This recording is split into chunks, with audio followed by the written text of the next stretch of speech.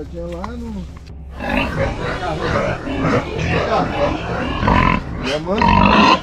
Qual o tamanho desse aqui? Vai, pula.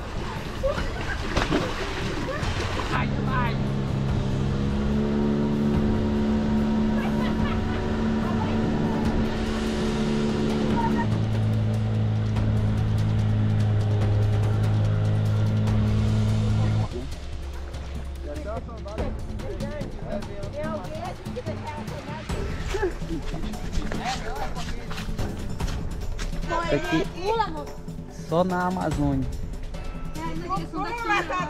Lá não. Só se for lá no.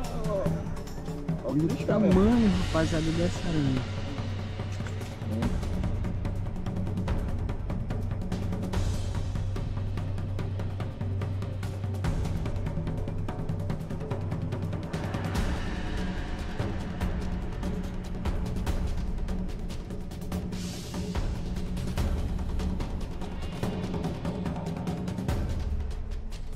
Muita curva, é, a mata muito densa, né? Mas a gente conseguiu chegar até o local. Né? Nesse momento o Carlos está subindo na árvore.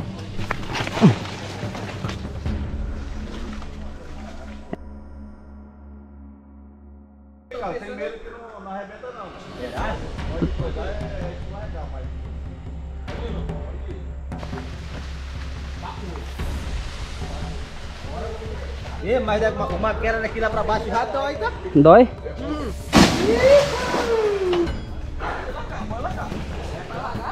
Já. O rio.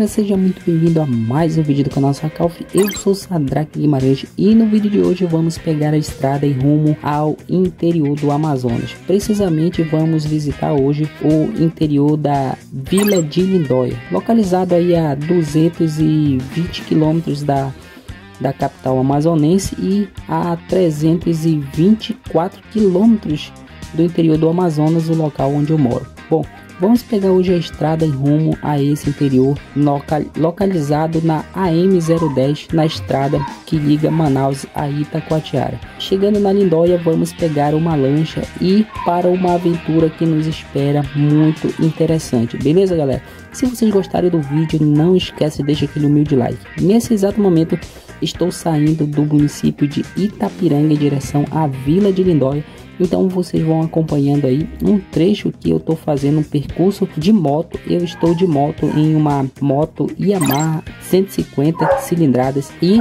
como vocês podem observar nessa estrada tem muita curva. É, como eu acelerei o vídeo tá parecendo muito que eu estou em alta velocidade. Galera, eu estou viajando aí aproximadamente a uns 100 a 120 km por hora, então é uma velocidade até que razoável nessa estrada que ainda é muito boa. Infelizmente tem muita curva, esse que é o lado ruim, mas, infel mas Felizmente é muito legal viajar, você tem liberdade à vontade, beleza rapaziada? E hoje a gente vai visitar é, esse interior e mais, a, e mais além disso a gente tem o interior chamado Lago do Boto, no interior do Amazonas, beleza? Então acompanhe nessa viagem, o vídeo apenas está começando, se inscreve no canal para acompanhar mais vídeos como esse e é claro, deixa aquele comentário maroto para eu saber que vocês estão curtindo esse tipo de conteúdo, beleza galera? Então bora lá que a gente tá com o pé na estrada.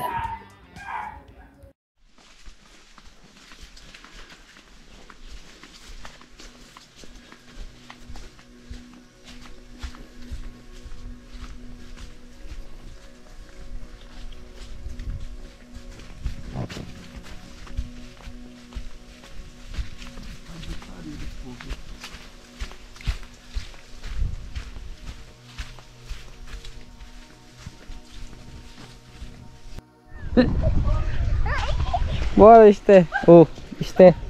Cai na água. Esther, rapaziada, vocês já conhecem ela do vídeo do vídeo anterior. É, agora a gente vai cair na água para se divertir um pouco aqui no na entrada do Igarapé do Boto. Vamos lá, né? Que a diversão tá apenas começando. Mais tarde a gente tá indo lá para dentro do boto Vai, pula. Aê! Aí, rapaziada, mais tarde a gente vai estar tá indo lá pra dentro do boto, né? Pra um garapé que tem pra cá, pra dentro. É, ver se a gente encontra alguns animais pra mostrar pra vocês. Animais soltos, né? Livre da natureza, né? Que é o que a gente sempre prega aqui, né? Preservação do meio ambiente. Tá bom, rapaziada? Então, bora lá curtir aqui mais um vídeo de da natureza.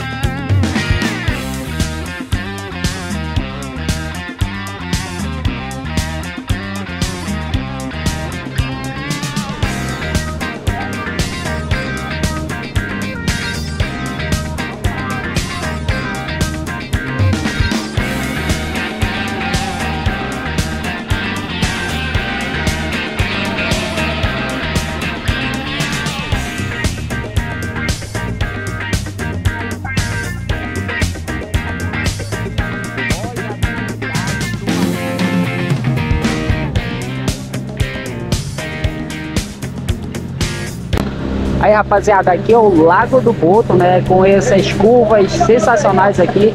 É, a gente acaba de passar naquela, naquela área ali, né? Agora a gente está fazendo aqui a curva né? no rio. É, ou melhor, no Igapó, né, insinuoso, a gente está sempre andando no, no canal, né, é, aí é a habilidade do.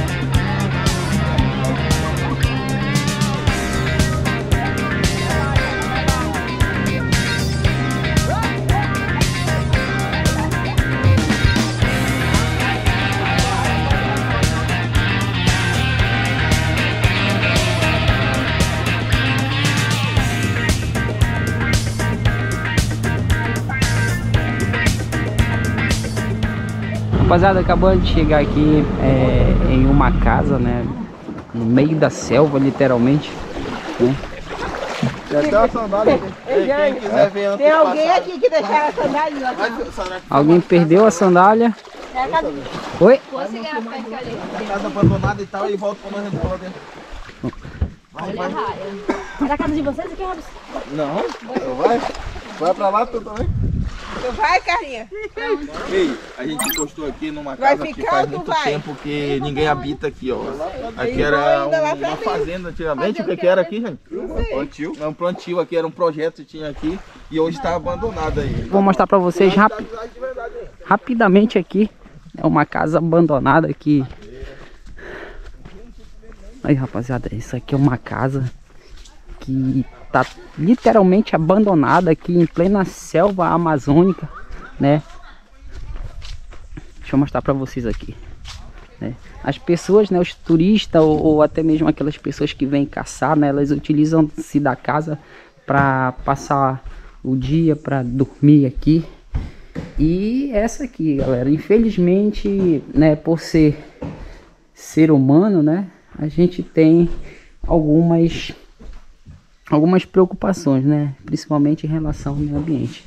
Como vocês podem ver, né, a casa é literalmente abandonada, latinha espalhada pelo chão, né? Então aqui tem pessoas que se hospedam aqui, né? Infelizmente elas não cuidam, né, desse espaço aqui, né? Poderia é, uma pessoa que, que gosta de preservar a natureza, isso aqui seria um, um espaço ideal. Vocês podem observar a natureza em volta da casa, da, no meio da selva. Só mostrando para vocês né, o lago, o lado obscuro, né, de, de, de alguém que não, não curte preservar o meio ambiente. Beleza, galera? A gente não conhece é, as pessoas que moram aqui?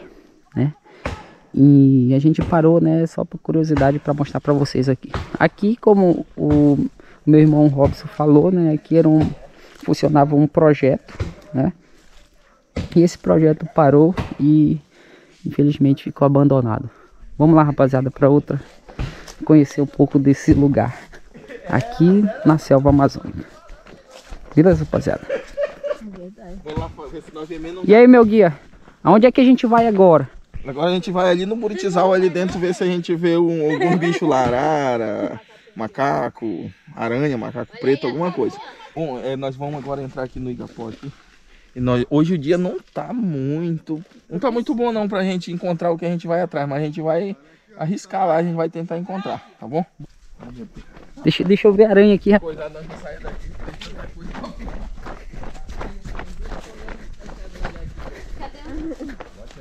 Coisa nós não sair daqui. Cadê?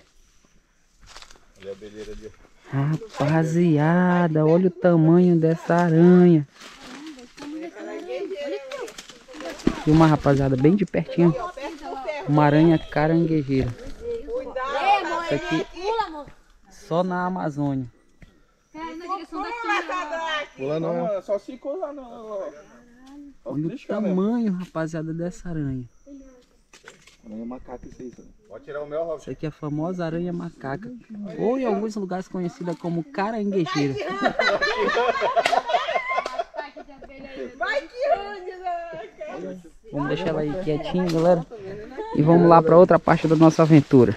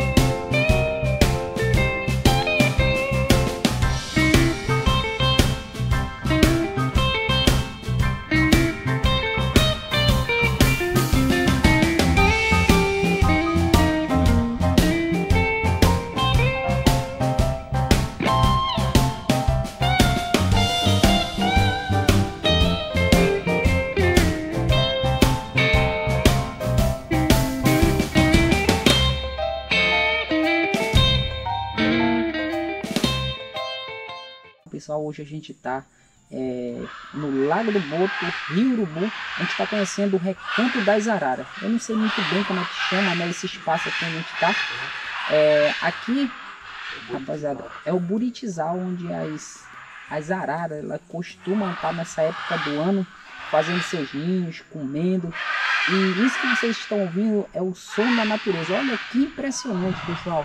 As araras, essa época do ano, elas vêm para cá, fazem seu ninho, né? Como tem muita fruta, muito buriti, elas aproveitam para se reproduzir nessa estação. É, ultimamente aqui na Amazônia está chovendo muito, agora que o rio começou a secar. Lembrando que na Amazônia é seis meses de sol e seis meses de chuva. Atualmente a gente está no inverno, mas o verão já está bem próximo. Então essa época do ano é, o rio está muito cheio, né? Tem muito e essas aves, esses pássaros, eles costumam estar tá nessa época do ano. Eles migram, migram para cá, para essa área, e o que é muito bonito, a gente consegue observar ela de perto, sentindo, é claro, esse som da natureza, literalmente. Macaco, guariba, porcos, porco do mato, né? O queixada, é, a cutia, a capivara. Então esses animais eles são muito fáceis de ser encontrados aqui nessa região da selva amazônica. Beleza, galera? Agora eu vou mostrar, pra, vou tentar mostrar para vocês aqui um pouco como é conviver com esses animais de tão perto assim, tão perto delas assim, e vamos ver se a gente consegue observar alguma para mostrar aqui para vocês. Tem muito obstáculo, né? É, por, pelo rio, pelo fato do rio tá, do lago tá muito cheio, né? Alguns né, alguns troncos, né, aqui é uma ilha de, terra ainda, pode se observar. Aqui eu, eu, acredito que deve ter aproximadamente é, uns 3 a 4 metros de profundidade. Né? O rio, como ele é muito sinuoso, né, esse igapó é muito sinuoso, a gente sempre anda pelo canal. Vamos ver se a gente consegue mostrar aqui alguma arara para vocês. Lembrando que é, esse local é uma área de preservação aqui na Amazônia, tá bom? Aqui não, não tem é, caça ilegal, não tem nada disso. Os moradores aqui da região, eles costumam é, andar por essas áreas aqui. E é claro que eles preservam muito bem esse espaço aqui. Né? Essa é a natureza, pessoal. Logo aí na frente tem um cacho de, de buriti. Né? Aqui temos aqui a altura desse buriti é de aproximadamente aqui uns 30 metros, eu acredito, de altura, né? E eles ficam literalmente submersos nessa época do ano. A gente vê alguns buriti.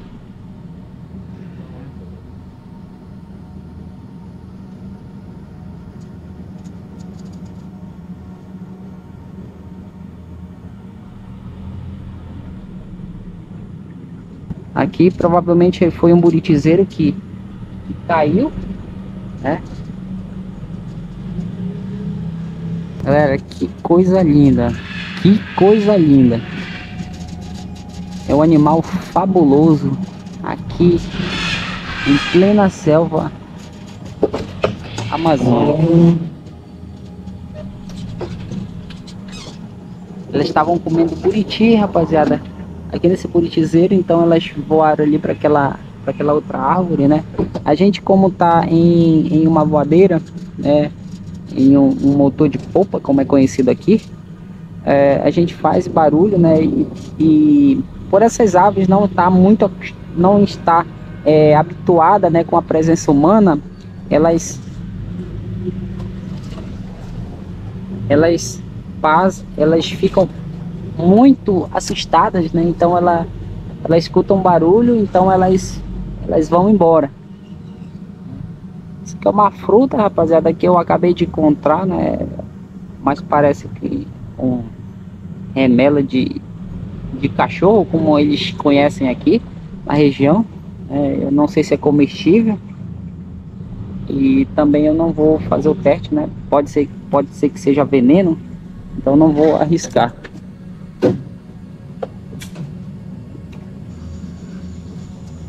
Pessoal, três araras grandes, quatro. Essa, nessa câmera que eu não vou mostrar, não vou conseguir mostrar para vocês, mas lá mais à distante tem várias araras, né, do peito amarelo. É um tipo muito raro né, de animal. Lembrando que nesse parque aqui, né, nesse local, é uma área bastante preservada e é por isso que elas vêm para cá, elas migram para cá essa época do ano né, para se alimentar desses, né, nessas árvores de buriti, tá? Além de outras frutas, é claro que, que tem muito nessa, nessa selva aqui. Pessoal, se vocês estiverem gostando desse tipo de conteúdo aqui no nosso canal, não esqueça, deixa aquele like, se inscreve aqui para acompanhar mais vídeos como esse, ativa o sininho e é claro, deixe seu comentário aqui, porque é muito importante para a gente saber se vocês estão gostando ou não desse tipo de conteúdo aqui, beleza?